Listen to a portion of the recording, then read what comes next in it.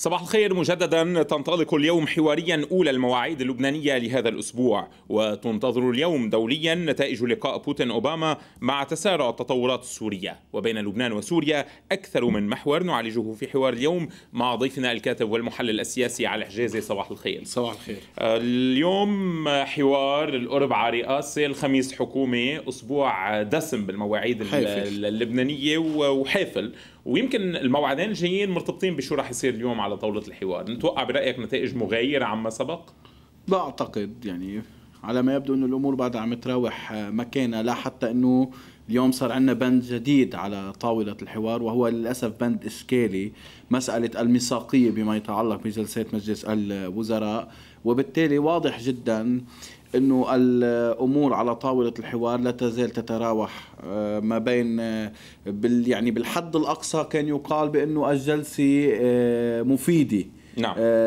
لم يخرج أحد مرة عن طاولة من طاولة الحوار ليقول بأن هناك أفق للحل. بس ولكن هذا لا يعني أن طاولة الحوار غير مفيدة. طاولة الحوار مفيدة لإبقاء التواصل ما بين القوى السياسية اللبنانية وبالحد الأدنى عدم دخول البلد بتوترات كانت سياسية أو مذهبية أو ما شابه. بس ولكن أعتقد أن الوضع الإقليمي آه، الضبابي لا يزال ينعكس على طاولة الحوار وبالتالي آه، أفق لحلول تتعلق بملفات آه، الملفات التي تدرسها طاولة الحوار لا أعتقد أنه في أفق إيجابي في الموضوع نعم بالنسبة للتيار الوطني الحر كان أعلن من ثلاثة الماضي أنه الميثاقية هي عنوان المرحلة بالنسبة له صحيح. ويجب أن تحدد مفاهيم هذه الميثاقية نعم. برأيك رح تلبى طلباته أو لا مكفيين بالمسار الثاني يعني هلا موضوع الميثاقيه موضوع إشكالي في لبنان وللأسف مثله مثل بقية الإشكالات الأخرى. كل شيء في لبنان حتى ملف النفايات صار في عليه إشكال حتى ما يكون في إشكال حول الميثاقيه وغير الميثاقيه في تجربة للأسف كانت تجربة سيئة في عهد الرئيس السابق ميشيل سليمان مسألة خروج الوزراء الشيعة من قبل انتخابه. بعد بعهد الرئيس لحود بعهد الرئيس لحود بنهاية آه، صحيح, صحيح. دخلنا بمرحلة الفراغ. في كانت تجربة سيئة يوم خرج وزراء حركة أمل وحزب الله يلي هن يشكلون الثقل الشيعي الحقيقي. وبقت الأمور ماشية مثل ما هي وأصر يومها الرئيس السنيوري على اعتبار إنه هذا الأمر لا يسقط عن الحكومة ميثاقيتها وتيار المستقبل ككل. بس ولكن كان المنظر الرئيسي للموضوع يومها آه، الرئيس السنيوري اليوم يعتبر التيار الوطني الحر أنه غيابه وفي ظل استقالة وزراء الكتائب وطبعا تعليق وزير قصدي استقالته وعدم مشاركة القوات اللبنانية هو يعتبر اليوم أن الثقل المسيحي خارج الحكومة وبالتالي المسيحيين غير ممثلين داخل الحكومة. في طرف آخر يعتبر أن وجود ممثل لتيار المردة الوزيرة شبطيني يكفي لأن يقال بأن هناك مشاركة مسيحية يعني حكى عن بطرس حرب ميشيل فرعون صحيح هودي الوزراء اللي هن محسوبين. يعني وجهة نظر رئيس بري بتقول إنه موجود تسعة من من 12 مسيحي وأربعة من خمس موارنه فبالتالي مشان هيك هو عم بيقول فيها فيها ميثاقية. هون مسألة الميثاقية أعتقد أنه المقاربة الأنسب للموضوع. أنا بعتقد أنه الحكومة ستستمر في اجتماعاتها بس ولكن المطلوب اليوم كما طلب الكثير من الأفرقاء عدم البحث في الملفات آه، الرئيسية واتخاذ القرارات اللازمه فيها بس. ولكن أعتقد أن حتى التيار الوطني الحر يدرك تماما بأن الحكومة حاجة في هذه المرحلة وبالتالي لابد من المحافظة عليها. مسألة آه، اعتكافه عن حضور جلسات مجلس الوزراء تعالج. والمهم أن لا تذهب الأمور إلى الاستقالة لأن اليوم لا يزال هناك رغبة لدى كل الأطراف بالمحافظة على الحكومة بالرغم من كل المساوئ من الرغم من أنه هذه الحكومة لم تعد منتجة بالشكل الكافي بس ولكن هذا لا يعني أبدا بأنه الحكومة اليوم آه حتى التيار الوطني الحر يريد التضحية بها. اليوم دعونا ننتظر. الرئيس البري عادة هو صاحب المخارج في كل المواضيع التي آه، يعني يكون فيها الإشكاليات بس بموضوع الحكومة لا هو موقفه واضح. هو مع بقاء الحكومة ومثله حزب الله على كل حال يعني. لم يكن إلى جانب التيار الوطني الحر بس وحتى التيار الوطني الحر يعني أنا حاولت أقول بالفكرة السابقة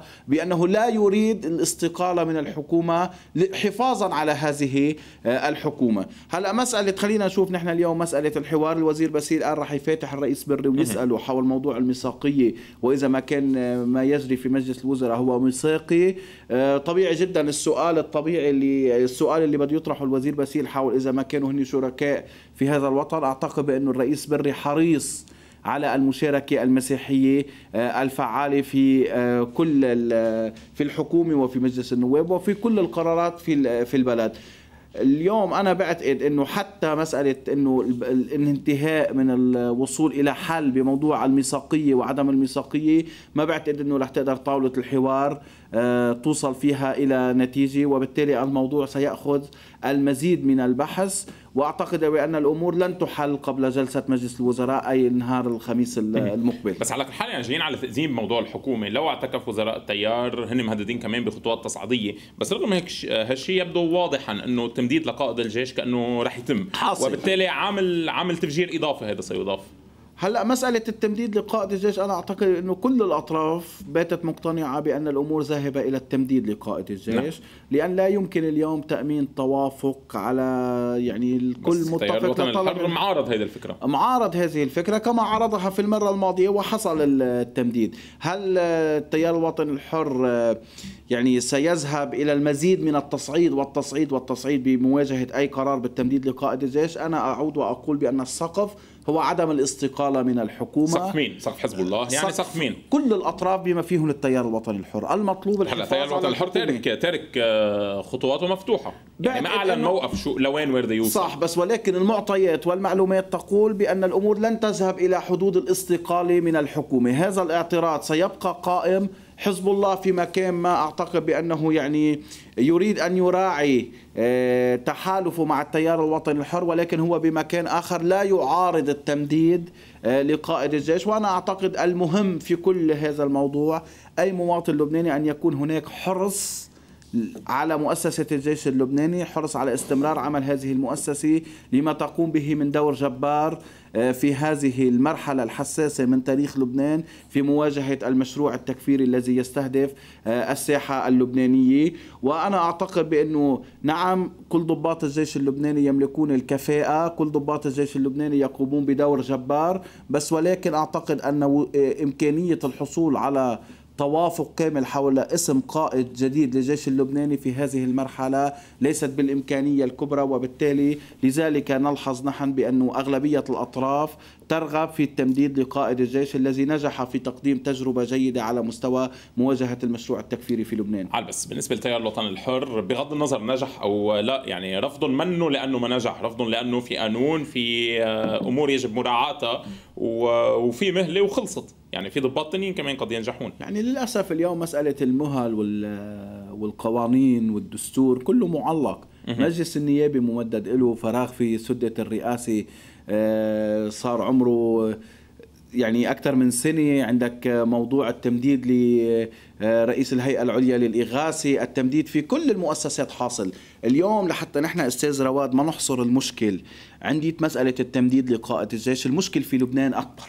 تركيبي من أساسها التركيبي بأساسها بيت التركيبي يعني غير قابلة للاستمرار. نعم. إذا ما ذهبنا الأساس الأساس الأساس اليوم في إعادة صياغة سلطة جديدة في لبنان. هذه الصياغة لا تبدأ إلا من خلال إقرار قانون انتخابي عادل. يكون عنوانه الرئيسي النسبية. كل من يعارض النسبية في لبنان هو يريد استمرار تعطيل الحياة السياسية اللبنانية. نحن بحاجة إلى انتخابات. على أساس قانون نسبي عادل يراعي تمثيل كل الأطراف.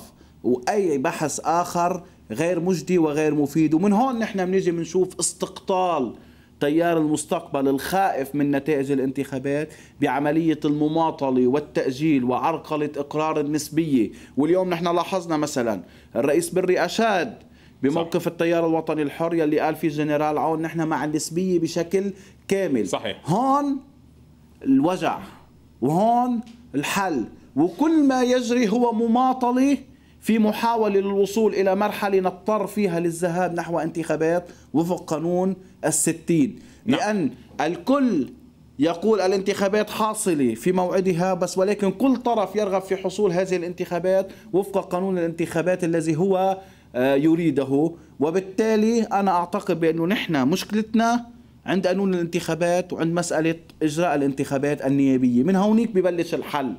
لأنه نحن اليوم حتى شوف أنت التسهيلات اللي قدمها اليوم حزب الله. أولا لما السيد حسن نصر الله أنه يا أخي تعال نعمل نحن سلة متكاملة. نعم. وأنا ما بعرف ليش بال 2008 باتفاق الدوحة كان المسموح بسلة متكاملة بينما اليوم ما بدنا سلة متكاملة هذه السلة تتعارض مع النظم والقوانين والدستور اللبناني. صح. اليوم حزب الله قدم تسهيل آخر وفق المعلومات المسربة اليوم في الصحف يقول فيها بأنني أنا مستعد إلى تجزئة هذه السلة يعني حكى عنها امبارح الشيخ نعيم قاسم قال ودعا إذا ما في سلة متكاملة عم تركب تجزئة الحلول والاتفاق على النقاط نقطة آه، قبل أخرى ووضعها بعدها في سلة بدءا بقانون الانتخاب للأسف اليوم في طرف آخر ما بده يتلقف هذه المبادرة طيب نحن لما عم نحكي عن سلة متكاملة نعم. عم نحكي عن ثلاث بنود أساسيين انتخاب رئيس الجمهوريه قانون الانتخابات والحكومة. حكومة صح. حكومة حزب الله من هلأ سلم مش سلم سهل. قال يا خيي أنا ما عنده مشكل معناه سعد الحريري. سعد الحريري سعد. الحريري الحكومي. موضوع قانون الانتخابات. عندنا مشكل. المشكل الرئيسي هو استمرار تيار المستقبل بمعارضة النسبية. حينما يقر تيار المستقبل بأنه لا يمكن أن يعرقل هذا الإجماع على إقرار النسبية وبأن الحياة السياسية السياسية اللبنانية لا يمكن لها أن تكون سليمة إلا من خلال قانون نسبي عندها بينحل الب- الب- البند الثاني من مسألة آه، السلة نعم. يبقى موضوع رئاسة الجمهورية أنا أعتقد أنه في قدرة لبنانية في حال نحن بدأنا بمعالجة الملفات الأخرى ربطا بالوضع الإقليمي الذي على ما يبدو بالرغم من اليوم اللي حصل من فشل للمحادثات الأمريكية الروسية هناك معطيات تقول في كل المنطقة هناك آه، آه، أناس بموقع المسؤولية مقربين من مراكز القرار يوحون بأن المنطقة ذاهبة إلى حلول. نعم. أعتقد بأن هذه الحلول تنعكس ايجابا على ملف رئاسة الجمهورية. بس ولكن نحن بموضوع الحكومة وبموضوع قانون الانتخابات ما حدا يجي يقول لنا إنه والله الموضوع بده توافق آه، أمريكي روسي سعودي إيراني. بس ما هي حتى تيار المستقبل اليوم رافض نوعيا لفكرة السله إذا بنشوف حديث الرئيس فؤاد السنيورة من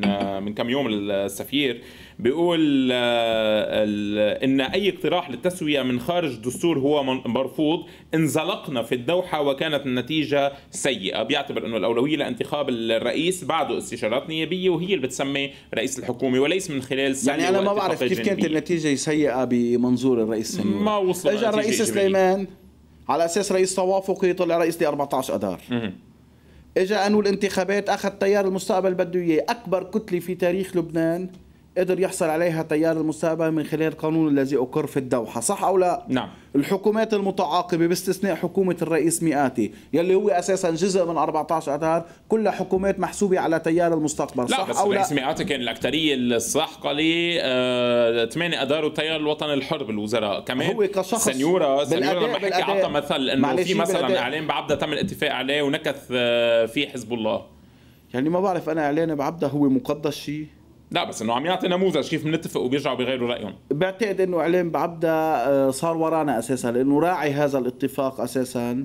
تبين إنه منه بالموقع الوسطي اللي بحق له يكون هو آه، جزء من الحل أو إنه إعلانه يكون جزء من آه، آه، نقطة اتفاق ما بين اللبنانيين. تبين بأنه الرئيس سليمان هو جزء من مشكل في البلد هو جزء من فريق 14 اذار وبعتقد إنه هذا الإعلان متمسكين فيه على قاعدة استهداف المقاومة. هذا هو اللي بيعنيهم نعم. بس بموضوع الرئيس مئاتي ليش أداء الرئيس مئاتي خلال توليه رئاسة الحكومة ما كان ابدا يصب في خانة فريق 14 اذار لدرجة إنه اتهم حتى بأنه أشد حرصا على حتى هو قال مصالح الحريري ما نفذها الحريري أنا أنا من يعني خذ مثلا موضوع المحكمة. الدولية موضوع ملف شهود الزور. وين قرب عليهم؟ كان هو أهم شيء برئاسة بالحكومة اللي شكلت برئاسة الرئيس ميقاتي هو مسألة فتح ملف شهود الزور. صح أو لا؟ وموضوع المحكمة الدولية. شو اللي تغير بالملف؟ نعم. ابدا كان حريص بالمو... بالتوقيت ابدا على تلبية مطالب المحكمة الدولية وملف شهود الزور صح. سكروا. رح نتابع بالحوار ولكن قبل خلينا نروح لعين تيني لأن بلشوا المتحورين يوصلوا. ننتقل إلى هناك مع زميلة نانسي صعب. صباح الخير آه، نانسي. دقائق يمكن أو ربع ساعة تقريبا بتبلش الجلسة. شو الأجواء قبلها؟ صباح الخير رواد طبعا يفترض على الأكثر بعد ربع ساعة أن تبدأ جلسة الحوار يلي تلي ثلاثية عينتين اللي انعقدت بأول الشهر المقبل. طبعا هذه الجلسة يلي آه، آه، تواجه رواد احتمال أن تكون آخر جلسة حوار بانتظار ما الذي سيحصل آه، فعليا آه، خلال هذه آه، الجلسة. لا سيما لجهة ما سيتم البحث خلال هذه الجلسة. طبعا رواد نبدأ بما يطرحه التيار الوطني الحر والتمني يلي بيحمله التيار الوطني الحر اللي سيكون ممثلا اليوم برئيس التيار الوطني الحر الوزير جبران باسيل مشاركا.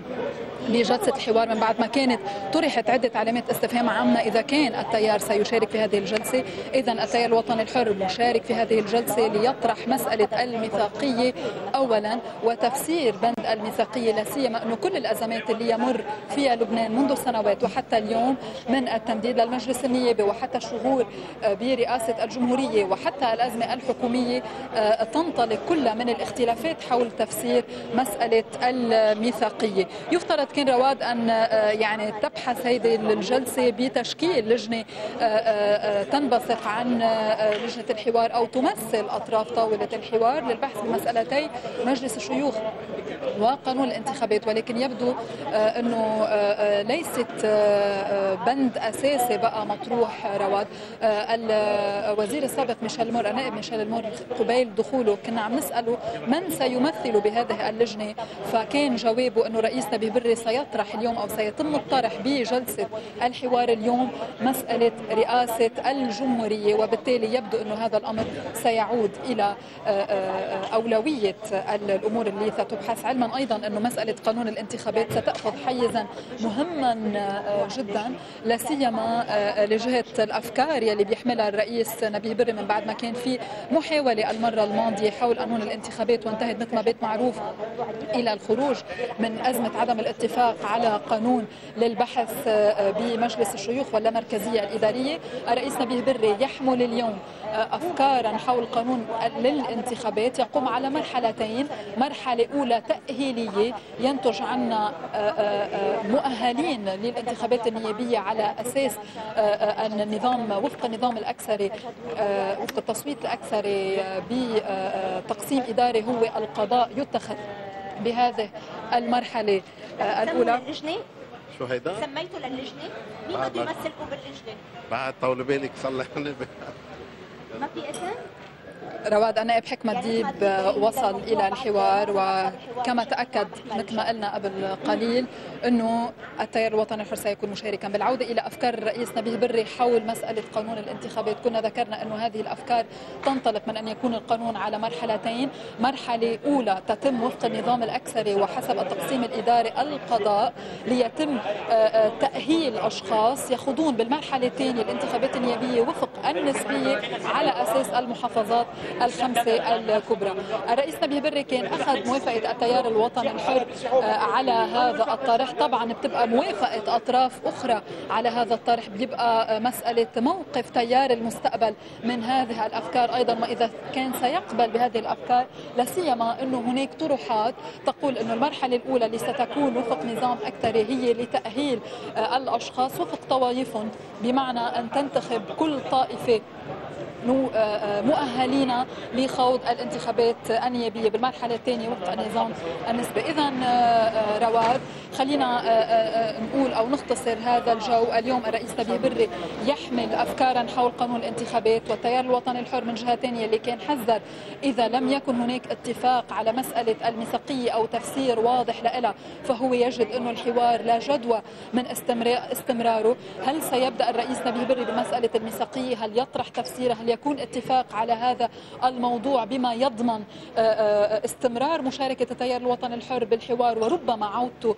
إلى الحكومة آه، خصوصا أنه هناك دعوة لجلسة جديدة لها يوم الخميس المقبل. هي مسألة ساعات لتتضح هذه الصورة رواد بخلال جلسة اليوم. طبعا مثل نعم ما ذكرنا على الأكثر ستكون هناك ربع ساعة لبداية الجلسة. رواد. نانسي صعب شكرا لك على هذه المعلومات. طبعا سنعود إليك في حال توفر أي جديد. أستاذ علي حجازي منتابع بالحوار كنا عم نحكي عن بالحوار ال- اليوم بالحلقة مش بالحوار الوطني كنا عم نحكي عن الحوار الوطني قبل وكنا عم نحكي تحديدا آه، عن قانون الانتخاب انتهينا منه. إذا بدنا ننتقل شوي لموضوع الرئاسة في وجهة نظر اليوم بالبلد بتقول إنه الأمال يلي كانت آه، معلقة على شهر اب لانتخاب رئيس آه، تبددت وانتهى الشهر.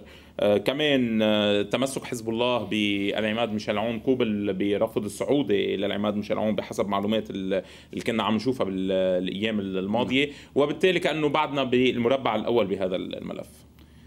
يعني أنا لا زلت عند قناعتي بأنه ملف الرئاسي في لبنان مؤجل.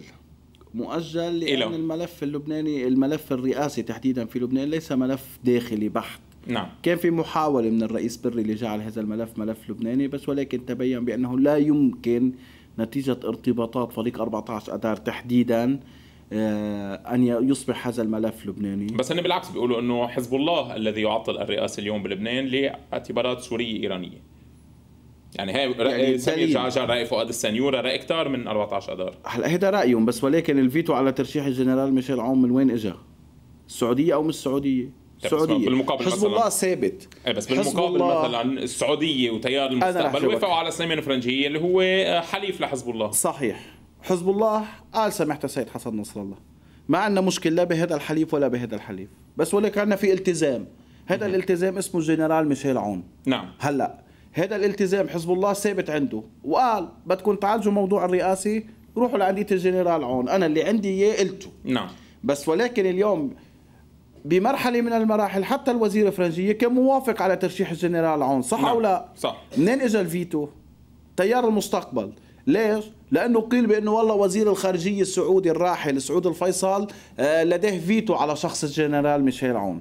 طيب لو من يومها تيار المستقبل اقتنع وكان يومها كمان الدكتور جعجع بالم- بالمطلب الآخر اقتنع إنه والله هناك إمكانية للوصول على بجنرال ميشيل عون إلى سدة الرئاسة كنا نحن ما وصلنا إلى هذا الفراغ المستمر حتى يومنا هذا. نعم. الفيتو بالأساس اجى من السعودية على ترشيح الجنرال ميشيل عون. بس ولكن أنا أعتقد بأنه كل العقد التي نشأت حول ملف الرئاسي وكل الإيحاءات بأن هذا الملف معقد تنتهي في لحظة التقارب السعودي الإيراني. نعم. في ظل هذا التباعد وفي ظل بس على هذا حساب. مين يعني؟ اذا إذا عم نحكي عن لا تقارب سعودي إيراني. الحساب واضح. يعني اليوم واحد من إذا- الاثنين شو؟ الجنرال ميشيل عون أو الوزير سليمان فرنجيه اليوم ما بقى في خيار بحلول ثالث بحلول وسطية كمان. هذه الحلول تنطرح. الوسطية مرفوضة جملة وتفصيلا. أعتقد بعد التحالف الذي حصل بين التيار الوطني الحر والقوات اللبنانية وبالمقابل التكتل المسيحي الآخر اللي واقف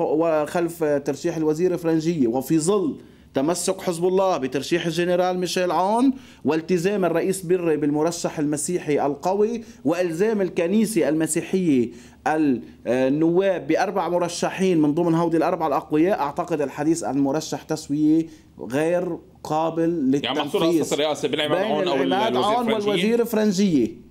وهذا الموضوع مؤجل. مؤجل لحين حصول تقارب إيراني سعودي. نعم. وعلى ما أعتقد بأن هذا التقارب الإيراني السعودي لم يحن وقته بعد. يعني اليوم من بعد المعركة في اليمن شغالة صحيح. بعد الأمور السعودية تحاول التقدم في سوريا. يعني حتى قبل ما نفوت على الحلقة كان في تصريح لل... للإمام الخامنئي بهذا الموضوع بيتهم السعوديين بأقصى العبارات وبيقول إنه هن اللي عملوا ال- الفتنة والحروب بالعالم العربي والإسلامي تحديدا بيقول لأنه هم من خلقوا المجموعات التكفيريه صحيح. يعني صحيح. رايحين لتصعيد ما رايحين لتهدئة أو تسويه طبيعي جدا المنطقة اليوم يعني بالرغم من كل جو التفاؤل البث خلال الأسابيع الماضية حول اقتراب حلول إلى ما هنالك أنا أعتقد أنه نحن صحيح وصلنا إلى الذروة بس لحظة انفجار الحل أو انفجار المواجهة ما وصلنا لها نعم. مع ترجيح أن يكون الانفجار لصالح حل في المنطقة لأن هذه الحرب العبثية التي تخاض بوجه سوريا والتي تخاض بوجه اليمن لم تؤتي ثمارها واقتنعت كل الأطراف التي مولت ودبرت كل هذه المؤامرة على المنطقة بأن المشروع الذي حملوه سقط أمام صمود الجيش السوري وحلفائه أمام صمود الشعب اليمني. وبالتالي حتى أمريكا اقتنعت للشق الإقليمي إنه رح ما بقى نحكي يمشي فيه. الحال باليمن نعم هيدا اتركها للشيء الإقليمي رح نحكي فيه بعد ال- الفاصل ولكن خلينا أنتهي بخلاصة لبنانية يعني برأيك آه، المفتاح الأساس للحل هو قانون انتخاب على الاساس النسبية صحيح. الرئاسة مؤجلة لأعتبارات إقليمية دولية وليس لاعتبارات آه، صحيح. لبنانية والحكومة مكفايه والحوار هو لحفظ هذا الاستقرار ولو بالصورة فقط ما هي- في خيار آخر بالبلد. اليوم يعني في شمعتين مضيئتين بهذا المسار السياسي في لبنان. الشمعة الأولى اسمها الحوار يلي عم تخلي الواحد يضل متأمل إنه في ضوء في أفق حل في أمل. بعدهم اللبنانيين حريصين على إنهم يقعدوا مع بعض. نعم. والشمعة الثانية هي مسألة الحكومة يلي يفترض أن يحافظ عليها الجميع لأنه في بآخرة النهار مصالح الناس أستاذ رواد. يعني اليوم خلينا نحكي شغلي مش منطقي بهذا البلد زبالة بالشوارع. تقنين الكهرباء عم بيروح من قاصي إلى أقصى. الوضع الاقتصادي المزري آه، حالة ال- الهجرة اللي حاصلة آه، مسألة الغلاء الفاحش اللي حاصل.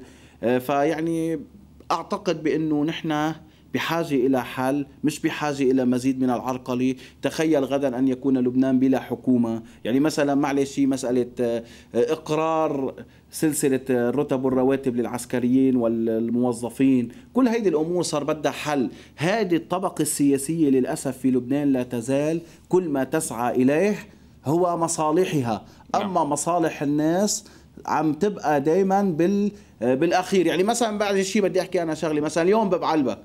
ممنوع تعمر بيت. أي. عطت البلدية اذونات تسمح فيها ل 105 بالعمار. امبارح أعطى وزير الداخلية قرار. راحوا هبطوا السقوفه للناس راحوا أخذوا المعمرجية على حبوسات. طيب يا خيي معلش أنا هون بدي أحكي كواحد من بعلبك نعم. نحن بنفهم إنه نحن مدينة أثرية. وفي مناطق مش مسموح فيها العمار. بس أنا مش منطق يكون عندي عقار حقه ملايين الدولارات تيجي أنت تحط عليه منع عمار ومنع استخدام وما عندك حل آخر. خي أنت كدولة إذا هيدي الأرض أنت حريص على إنه هيدي من ضمن حرم القلعة أو إلى ما هنالك. بدك إياها؟ تستملك تفضل استملكها أعطيه حقوق الناس وخليها تفل. خي ما بدك تخليني عمر هون؟ أعطيني تسهيلات بمحلات أخرى عمر بس نعم. إنك أنت تمنع البلدية تعطي رخصة ويتدخل وزير الداخلية بشكل مباشر. ويطلب هد السقوفه للناس وي- ويطلعوا 400 500 عنصر من الدرك ليحتجزوا العمال. نعم. في ناس كمان موجوعه يعني المشاكل ال- ال- المعيشية والأمور الاجتماعية حتى كلها مهملة بلبنان. صحيح. يعني كل ال- إذا بال- بالتركيبة الأساسية ما عم تركب فكيف حال بالامور الثانية النفايات كمان خير مثال على ذلك. موضوع الميكانيك اليوم عم يعتصموا ميشان آه، ميشان وكمان مثال بالطول الأمثلة. بعد الفاصل رح نروح على ملفين. الملف الأول هو تحقيقات بتفجيرات طرابلس وما نتج عنها وردات الفعل السياسية. والملف الثاني هو المشهد السوري. فاصل ونعود بعده المتابعة في حوار اليوم مع ضيفنا الكاتب والمحلل السياسي علي حجازي.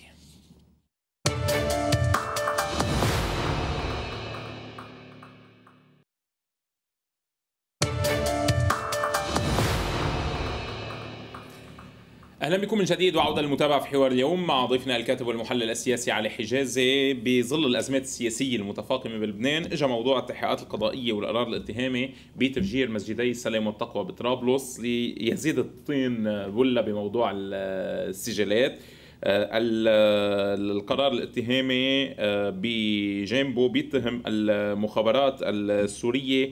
وتحديدا بسمي ضابطين بهذا المجال إنه هن خلف هذه ال- التفجيرات. وبالتالي رجعت وولعت الأمور عن جديد بين لبنان وسوريا. يعني أنا بعتقد إنه هذا القرار الظني فضح ماكينة الكذب التي يشغلها في الإعلام فريق 14 اذار ما هي قرار قضائي. 44 صفحة لم يرد فيها اسم رفعت عيد ولا الحزب العربي الديمقراطي ولو بحرف واحد. بالرغم من أن كل المرحلة الماضية كانت عملية توظيف هذا التفجير لمواجهة الحزب العربي الديمقراطي ورفعت عيد والتعبئة المذهبية في داخل طرابلس وتصرف معها أشرف ريفي وكأنها دفتر شيكات يتم صرفه في بنوك المذهبية والتعصب والتجييش والمناقرة السياسية خلينا نقولها بس هون يمكن في أشخاص 44 بالمنفذين صفحة. بس بالمنفذين في نعم. أشخاص مقربين يمكن من الحزب العربي الديمقراطي. لا خلي كل أهل طرابلس يطلعوا يجاوبوا الرأي العام. حيان رمضان مقرب من أشرف ريفي أكثر أو من رفعت عيد أكثر أشرف ريفي قال بمقابلة تلفزيونية. نعم أعرف حيار رمضان وهناك علاقة تربطني به.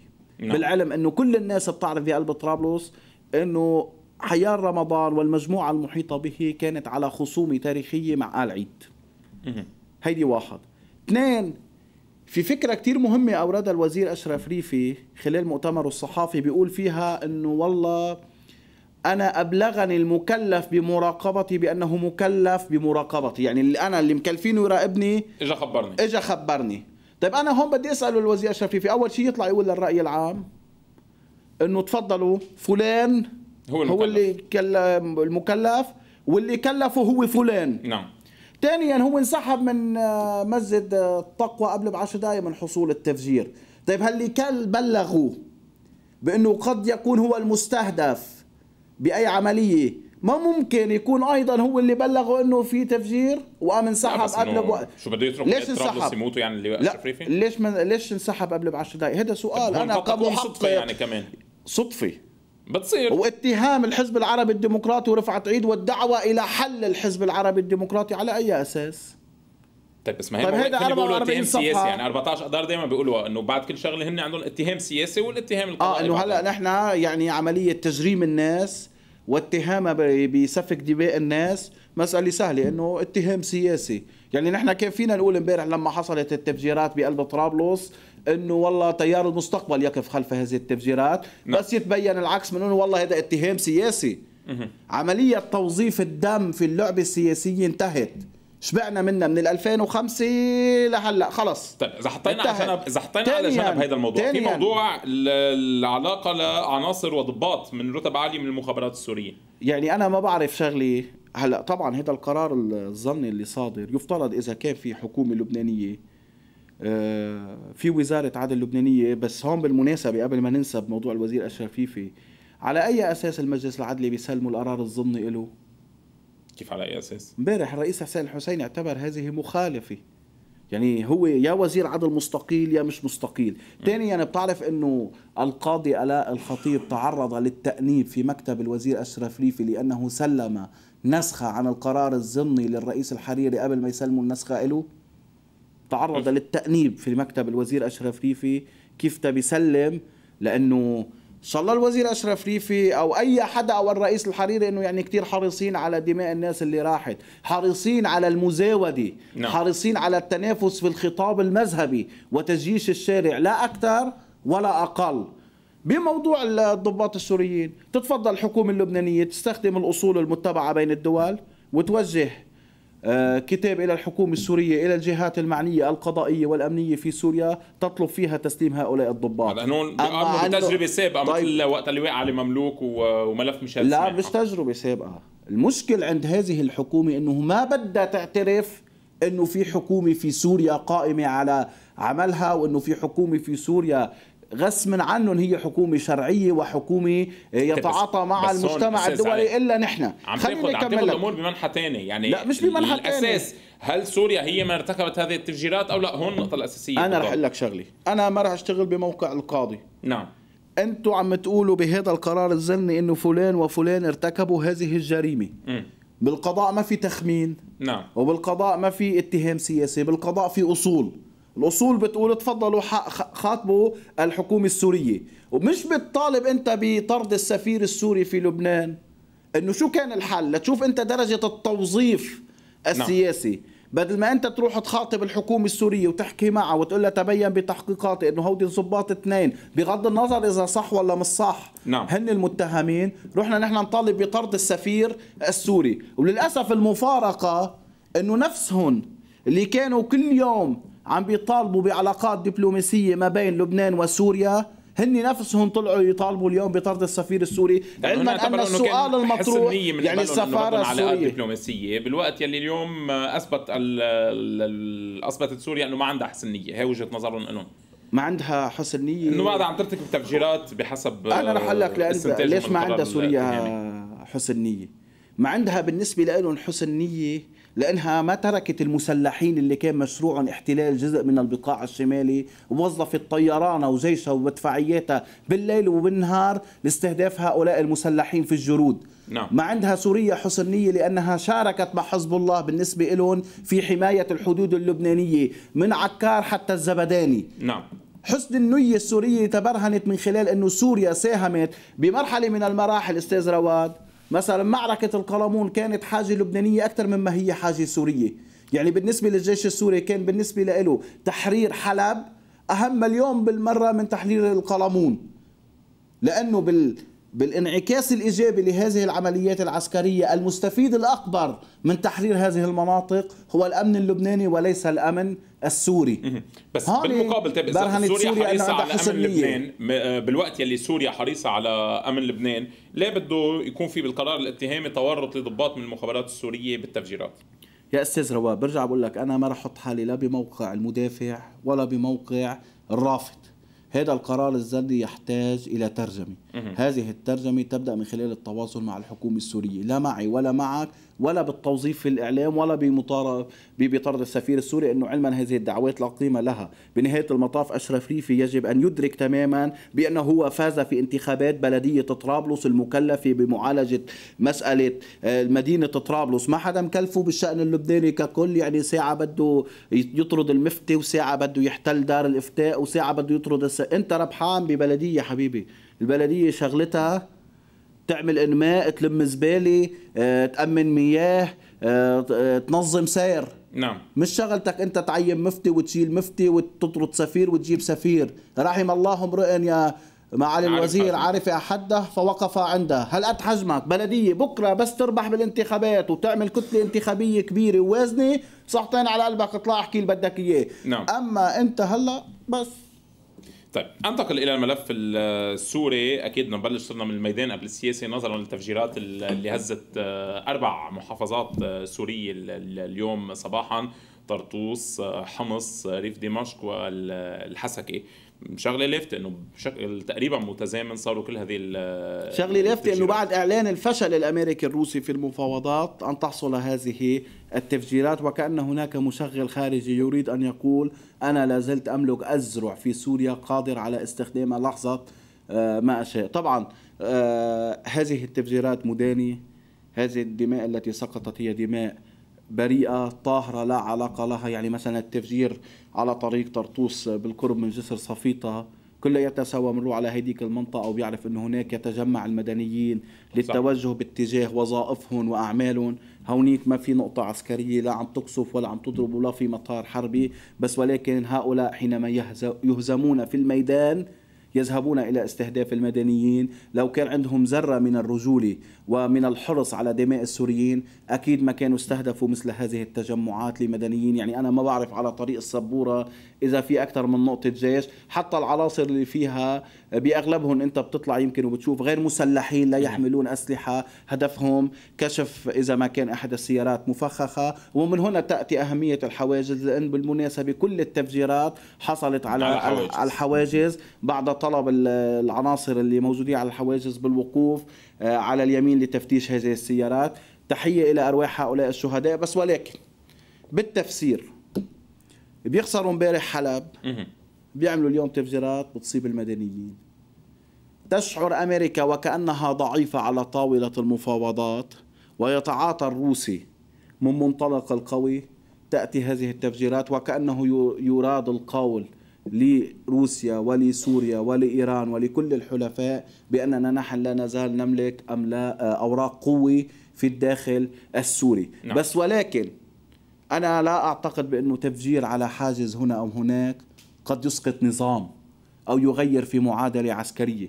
إنما هو تعبير مش عن إفلاس هو تعبير عن جبن. نعم. أكيد مش مقفلسين وهيدي العبارة أنا بتستفزني. هو تعبير عن جبن هو تعبير عن ضعف في الميدان. من يريد أن يثبت نفسه قويا في الميدان كان عليه مثلا البارحة أن يمنع الجيش السوري وحلفائه من إعادة إحكام الطوق على على, حلب. الأحياء الشرقية في حلب ولكن استشعار الطرف المشغل في الخارج بقرب نجاح الجيش السوري وحلفائه ببدء عملية تطهير واسعة لحلب وهذا ما يحظى بإجماع دولي يدفع هؤلاء إلى مثل هذه العمليات علما بأنه أعتقد أن الحياة الطبيعية يعني أنا دائما أسأل. نعم. بيروح الجيش السوري بيطوق حلب إيه في فائدة على المستوى البعيد وعلى المستوى الاستراتيجي. أنت أحكمت الطوق حول حلب نعم. العاصمة الثانية لسوريا. وبتقدر على بكرة تبلش تحرر أحياء في حلب وتعلن بعد فترة تحرير مدينة حلب. بس تفجير على حاجز في طرطوس شو بيقدم أو بيأخر بالمشهد العسكري؟ صحيح. على بكره بترجع الحياة لطبيعيتها أبرياء. يعني عملية القصف اللي كانوا يقوموا فيها مسلحي دريا للعاصمة السورية دمشق. هل منعت عن هؤلاء أن يخرجوا اذلاء من مدينة داريا ويذهبوا إلى إلى المستوعب؟ مستوعب. وهن بيعرفوا كلمة مستوعب شو بتستخدم. مم. بإدلب. للأسف جماعة لو هن بيتعاطوا أساسا منذ البداية لو كان عندهم درجة من الذكاء كانوا أكيد وضعهم مختلف اليوم على الأرض في سوريا. نعم. بس ولكن عدم وجود حاضنة شعبية حقيقية وعدم وجود مشغل واحد. يعني شوف اليوم ناس بيكونوا عم بيقاتلوا بحلب بيزقفوا لهم الأتراك. حتى منقول كلمة تانية تستخدم مع اللي بده يكون عنده شي كلب قدام بيته ويجيبه. إيه. بيقولوا لهم تفضلوا بدنا نحرر قرى بريف حلب. بيتركوا الجبهة ب- بحلب وبيروحوا لعند معلمهم التركي. جزء آخر بيكون عم بيقاتل بحلب.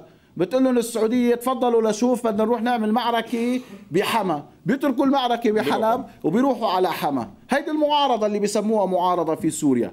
وطبعا اليوم الجيد في الموضوع الموقف الروسي. أنا نعم. صراحة يعني مسرور جدا بهذا الأصرار الروسي على عدم القبول بالشروط الأمريكية للوصول إلى اتفاق تسوية في سوريا كان عم بيحاول الأمريكي في مكان ما أن يفرض وقف إطلاق نار في حلب أن نعم. يوقف عمل الجيش السوري أن يفرض منعا لتشغيل الطائرات الحربية في استهداف المسلحين في حلب وهذا المشكل كان لفت له سماحة السيد حسن نصر الله حينما قال بأنه لما حررنا خان طومان لو تركنا دون أن تفرض هدنة علينا كانت الأمور بحلب مختلفة تماما. يعني هالمرة روسيا أقرب إلى الموقف السوري الإيراني أقرب للحزب. اللهوي آه صحيح أقرب 100% يعني. الأمريكي حاول لما استشعر حجم التقدم تبع الجيش السوري وحلفائه في تلك المنطقة حاول يفرض هدنه رفض هذه المرة الهدنة الطرف الروسي وقال لن نلتزم بوقف إطلاق نار يستفيد يعني منه كان كان الأمريكي. بحسب التسريب وبحسب هن تصريحاتهم إنه بدهم منفذين بحلب لحتى يقبل آه، يسلم رأس جبهة النصرة وهذا ما رفضه الروسي. على ما يبدو أساسا بعد المشكلة واضحة بين أمريكا وروسيا مسألة. التوصيف من هو إرهابي ومن هو معتدل صح. هلأ أمريكا تتعاطى مع أنه جبهة النصرة هي تنظيم إرهابي بس ولكن. روسيا روسيا تعتقد بأن أمريكا لا تترجم هذا التوصيف فعليا بالعمل العسكري وبانه أمريكا حاولت طوال المرحلة الماضية بالأداء اللي كانت عم تقوم في سوريا حماية جبهة النصرة وإبعاد جبهه النصرة عن الاستهداف من قبل التحالف آه، الدولي. أيضا روسيا تتهم أمريكا بأن هناك بعض الفصائل التي تريد أن تعتبرها معتدلة. هذه الفصائل ليست إلا غطاء لحماية التنظيم الأساس على الأرض الذي هو جبهة آه، النصرة. أيضا روس أمريكا تريد أن تصنف بعض المجموعات الإرهابية آه، في حلب على أنها ليست إرهابية علما أن روسيا مصرة على توصيف هؤلاء بأنهم آه، تنظيمات إرهابية. وأنا أعتقد أن المعيار الأساس لتقييم آه، مسلح في سوريا هو المعيار الذي وضعه الرئيس الأسد حينما وصف كل من يحمل السلاح في سوريا بمواجهة الدولة بأنه إرهابي علما أن المنطق والعدل يقول ذلك. يعني أنا ما بعرف آه، إذا ما خرج على بكره مسلح في السعودية نعم. لمواجهة النظام ال- الغاشم في السعودية هل ستعتبر أمريكا بأن هذا المسلح معتدل؟ أم تلقائيا راح يكون التوصيف إرهابي؟ إرهابي. طيب. إذا خرج مسلح بكرة وحمل سلاح بالأردن أو بالكويت علما أننا لا نتمنى نعم. لأي دولة عربية أن تواجه ما واجهته سوريا. الطبيعي جدا أن توصيف هؤلاء سيكون بأنهم مجموعات إرهابية. أما في سوريا في هيدي سياسة معتدل. خيار وفقوس معتدل ومش معتدل. المعيار واحد كل من حمل السلاح بوجه الدولة السورية وبوجه أي دولة في العالم هو إرهابي. عال بالنسبة لل- للمتغيرات اللي عم نشوفها بالمشهد يمكن الأكبر هو المتغير التركي يلي يلي عم بيكون. آه، انحكى عن انفتاح آه، كبير من تركيا آه، تجاه دمشق عبر البوابة الروسية. حتى رئيس ال- الحكومة التركية بن علي يلدرم بيقول الآن إن شاء الله اتخذت تركيا مبادرة جدية لتطبيع العلاقات مع مصر وسوريا.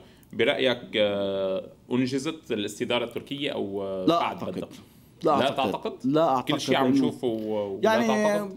في جزء من المعلومات التي سربت في وسائل إعلام معينة خلال الأسبوع الماضي تبين أنه ليست بالدقيقة مثلا كيرملين اليوم قال بأنه الحديث عن لقاء ما بين الرئيس آه، الأسد الأسد وأردوغان هيدا برعاية نف- الرئيس نفى بوتين. الكرملين، آه، آه،. نفي اليوم وبالتالي أنا أعتقد بأن بس هون عم نحكي عن تصريح رئيس لك- التركية هذا التصريح هو إيه، إيه، قايله هو أنا رح. أقول لك على مستوى الأمن في تواصل روسي تركي نعم روسي أو سوري آه، سوري تركي تركي. برعاية روسية في بداية نعم. تواصل في شيء عم في ينشغل. زيارة ضباط متبادلة. صحيح. في شيء عم ينشغل على المستوى الأمني وفي لقاءات سورية تركية رفيعة المستوى آه، تجري.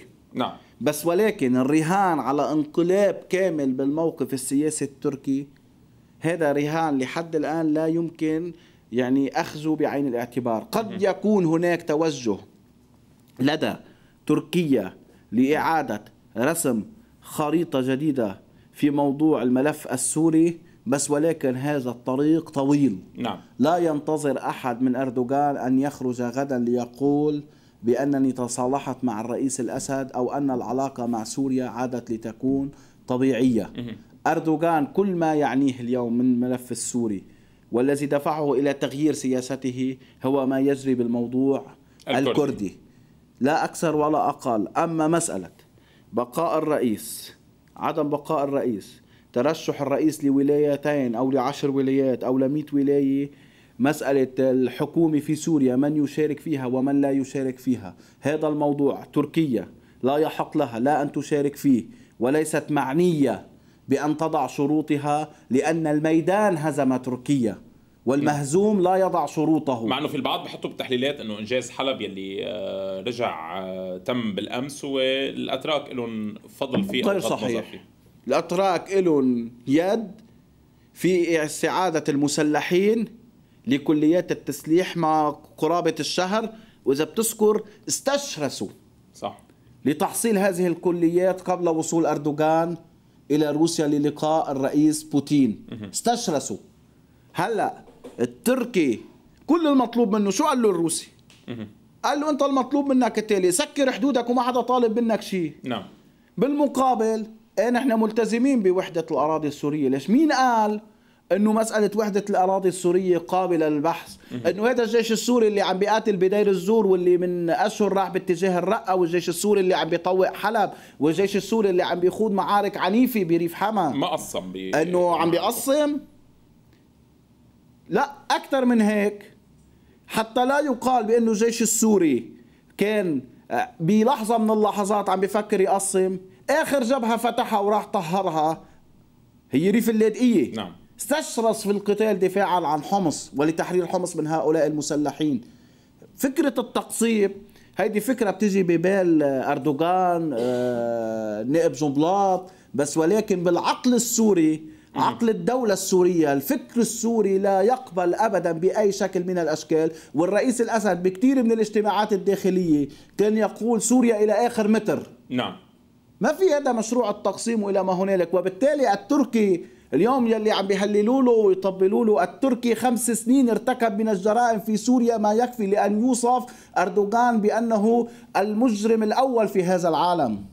المجرم الأول الذي دمر سوريا ودمر حلب ودمر الشمال السوري هو رجب طيب أردوغان. بس والذي اخضع أخضع رجب طيب أردوغان. هو الميدان هو جيش سوريا هو حزب الله هو حركة النجباء. هي هيدي الناس اللي قتلت في سوريا. أردوغان لما استشعر إنه هيدي النار أو بالأحرى لما استشعر إنه الأمريكي عم يرسم له فخ في سوريا من خلال استخدام ورقة الأقراض فاق على حاله. نعم.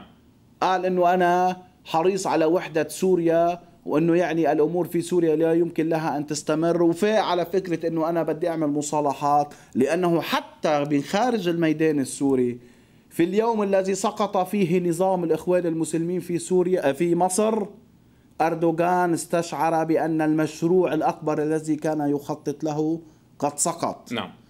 وليلة الانقلاب استشعر أردوغان بأنه هو الأضعف في الحلقة.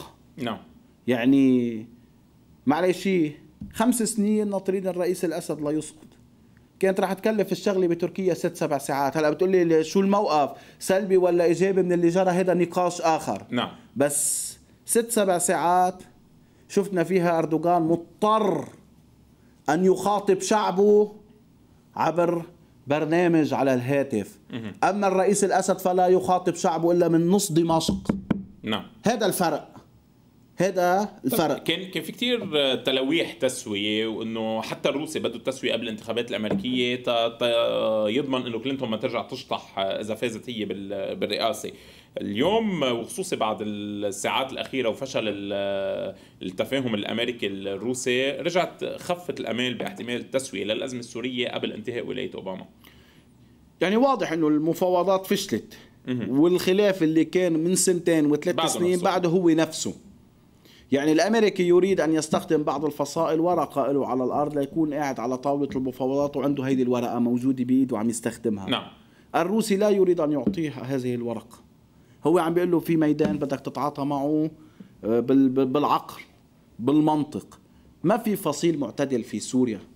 يعني يمكن بمكان ما الروسي بيعتبر الجيش الحر إنه هو آه، تنظيم معتدل.